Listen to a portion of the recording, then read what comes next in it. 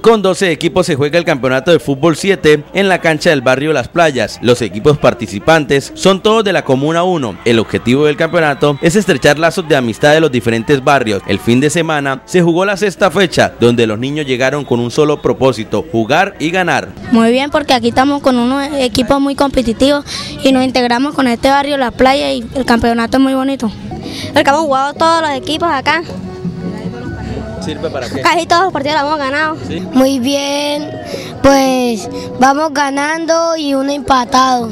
En el campeonato se destacan equipos como El Dorado, La Campana, Arenal, David Núñez, Isla del Zapato, Las Playas, entre otros. Hay aproximadamente dos equipos de fútbol, categoría sub-10, muy movido los fines de semana esto acá con los niños, es algo que enriquece al barrio como tal, eh, ya que la, la polideportiva no se pudo realizar porque esto es zona de alto riesgo y las inversiones nunca llegan, quedan los proyectos y hasta ahí llegan.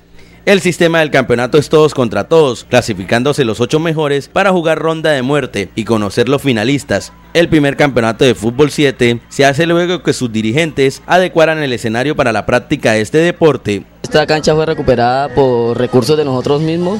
Eh, nosotros cada uno aportó una cuota y buscamos, alquilamos una pulidora, desmantelamos unos todos que habían, montamos los arcos. Ahorita está hay unos torneos de mayores, hay un torneo lo importante de lo de los niños, que es patrocinado por el, concejal Luis Eduardo Velázquez, que es el que nos apoya el deporte en este sector.